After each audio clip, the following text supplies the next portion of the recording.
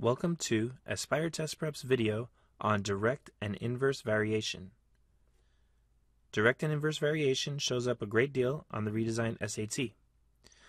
To take best advantage of this video, you should go to www.aspiretestprep.com, complete the worksheet that says practice problems under direct and inverse variation. Go ahead, check your answers using the answer key that's provided, and refer to this video for questions where you need extra help. So, starting with number one, we have a baseball team where batting average is directly proportional to winning percentage. The team with the 221 batting average has a 485 winning percentage. What's going to be the winning percentage of a team with a 301 average? The important thing to start out is when we see a phrase like direct proportional, directly proportional, inversely proportional, or when something directly varies or inversely varies with something else, those are code words for certain equations that we have to write.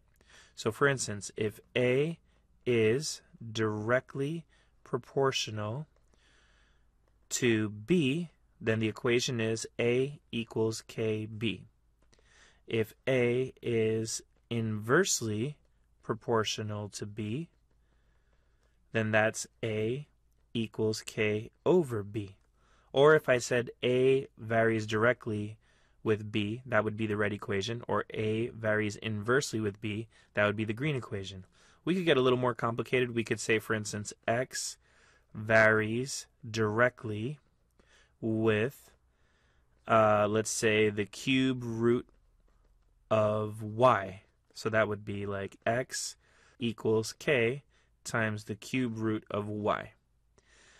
It's important here to say that the order matters a lot. So on the red one, we would not be able to write B equals KA and have that be correct. That would be wrong.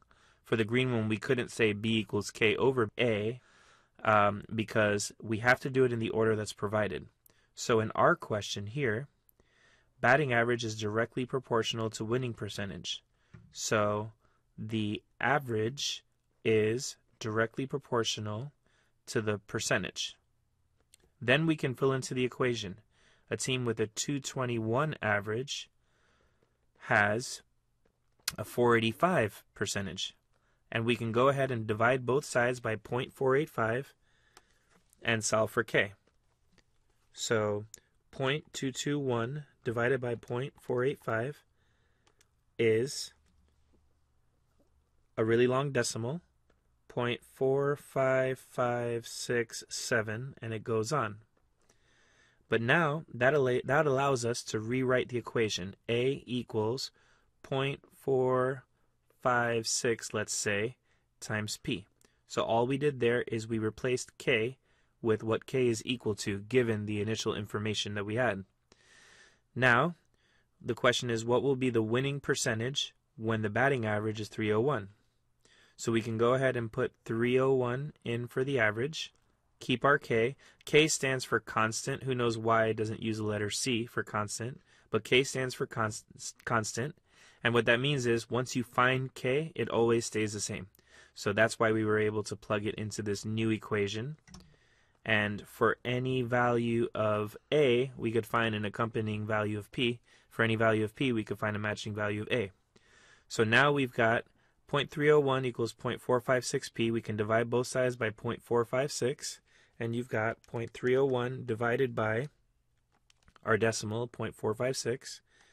And in my calculator, I'm not using the rounded decimal, I'm using the actual one from the memory of my calculator. I strongly believe you should use um, graphing calculator on these tests because it has more memory and more ability to do different things. So anyway, P is 0.6605 six, five, and it goes on. Rounding our answer to the nearest hundredth, we've got, well, in terms of where those decimals are, if we have the number and the decimal, then this number right here is the tenth, and this number right here is the hundredth. So fitting our number into that, we've got 0.66055, and it keeps on going. But the idea is to round to this number right here, we need to look at the next number. If it's 5 or greater, we go up. If it's 4 or less, we stay where it is. So then we're staying where it is, and the answer is 0.66 for number one.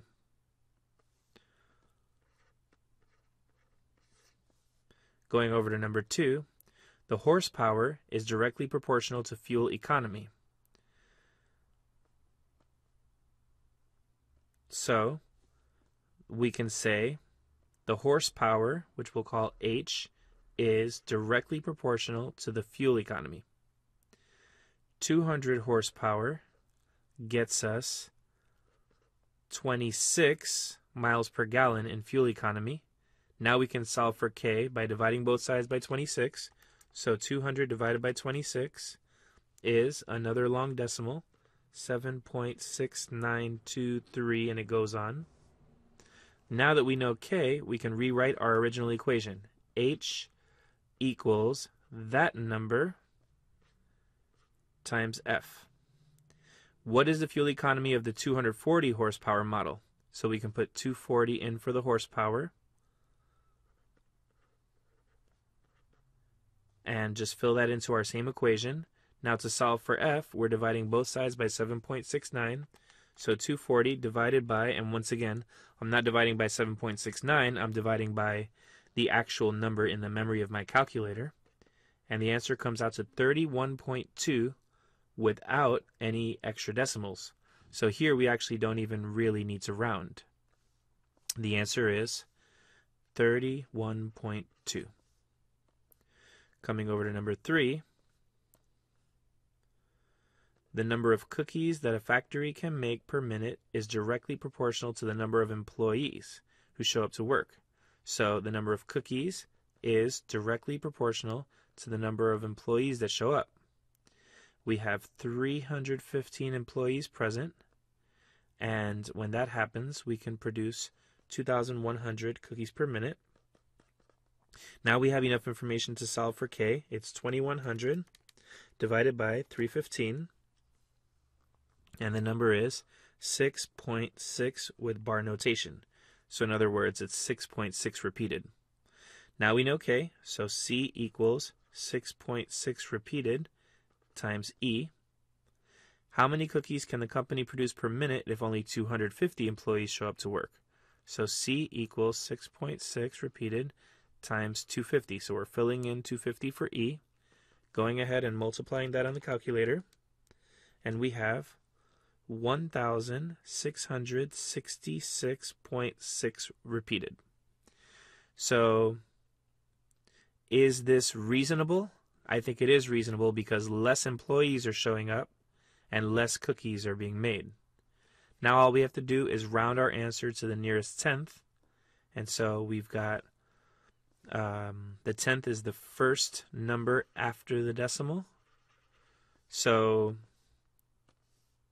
if the decimal is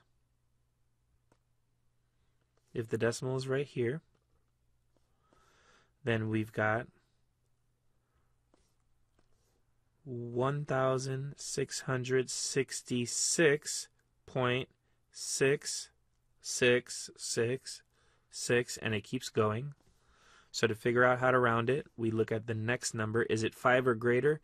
Yes it is so then our actual answer that we would have bubbled in on a question like this would be 1666.7 because we went ahead and rounded up to round it to the nearest tenth. Number four, the amount of money earned by one type of career path is directly proportional to the number of college credits earned by the employee. If the salary of an employee with 60 college credits is 45,000 per year, how many credits will an employee need in order to make 100,000 per year? So, the amount of money being made is directly proportional to the number of college credits. So when you have 60 college credits, you make 45,000 per year. So we can divide by 60 on both sides, and K equals 45,000 divided by 60, which is 750. Now we can rewrite the equation. So whenever you find out K, you can rewrite the equation. So M equals 750C. Now, how many credits will you need to make 100,000? We can plug in 100,000. Divide by 750 on both sides. And C equals 100,000 divided by 750. And the answer is 133.3 repeated. Please round to the nearest hour. That means that we want this many numbers and we need to look at the next number. If it were 5 or greater, then we would have rounded this number right here up, but because it's 4 or less, we're going to go ahead and keep it the same, and the answer that we would have bubbled in here would have been 133. Going over to number 5 now. Now we have inverse proportionality. And inverse just means that instead of multiplying by k, we're going to take k and divide it by our number. So the force is inversely proportional to the length. A force of 5 is needed to compress a spring to a length of 3. Multiplying both sides by 3, we have k equals 15. And that's enough information for us to rewrite the equation. F equals 15 over L. How much force is needed to compress the spring to 2.5 meters? So F equals 15 over 2.5. All we did is plug in 2.5 for the L. And 15 over 2.5 on the calculator is exactly 6. So once again, this one didn't need to be rounded. The answer is simply 6. Going over now to number 6, the lifespan of a car battery is inversely proportional to the number of degrees. Now, inverse means we're dividing instead of multiplying. And the number of degrees below 80. So a battery stored at 60 has a 2.8 year lifespan. And in this question, D is a little more complicated.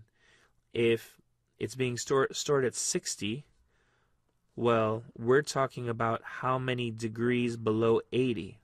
So how many degrees below 80 is 60? It's 20 degrees below. So the number we need to plug in for D is 20. Now we can multiply both sides by 20, and we have K equals 2.8 times 20, which is 56. Now we know K. We can go ahead and plug that back in. L equals 56 over D. How long will a battery last if it's stored at 55 degrees?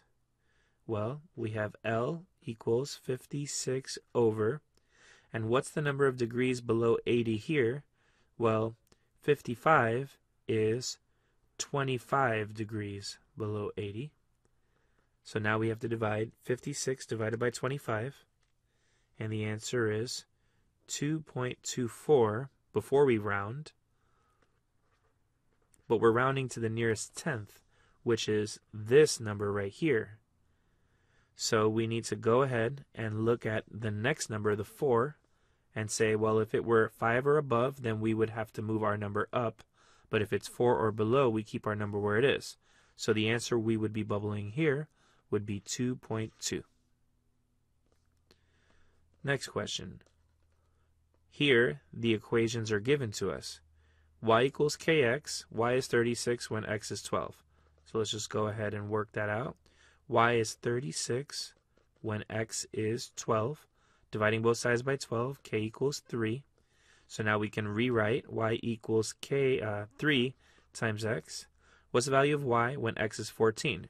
y equals 3 times 14, and 3 times 14 is 42.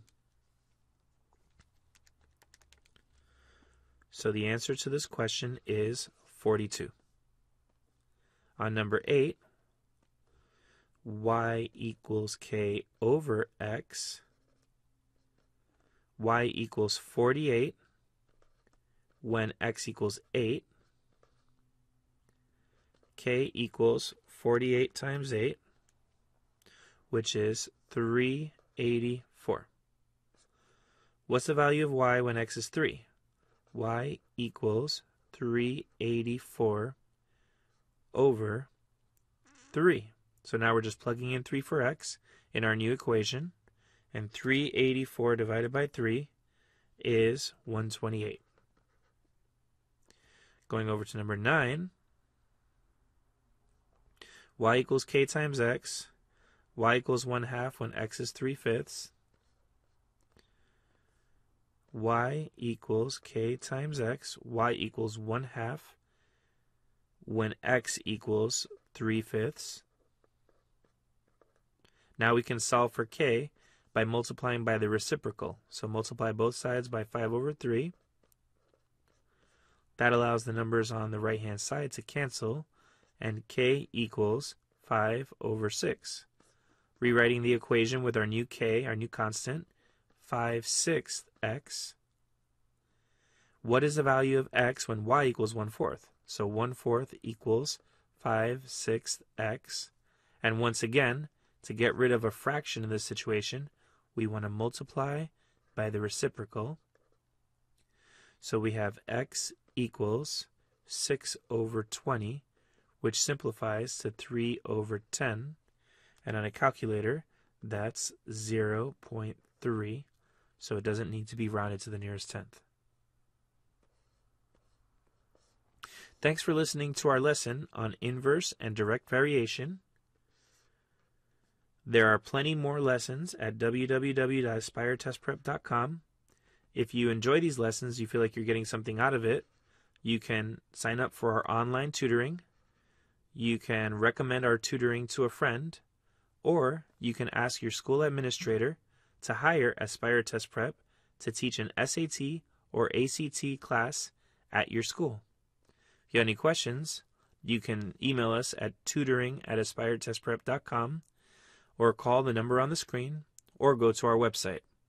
Thanks so much and have a great day.